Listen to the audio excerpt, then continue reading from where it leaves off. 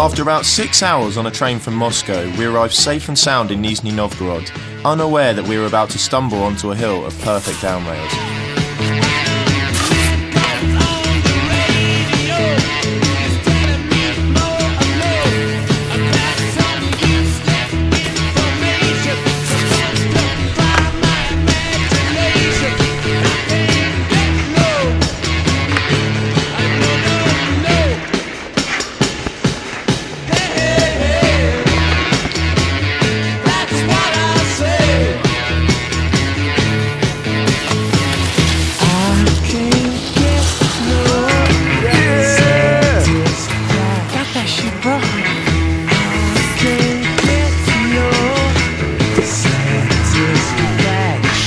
At this point, we decided that people watching this edit would be pretty bored of seeing us land tricks. So here's us falling on our faces.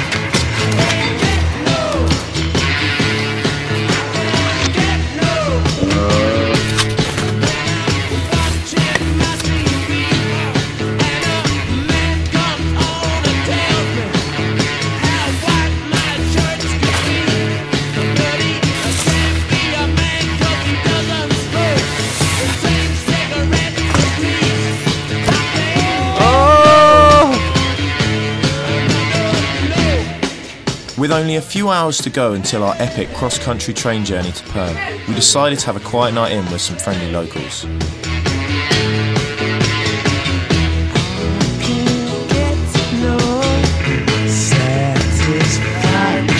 But I try, and I try, and I try, and I try.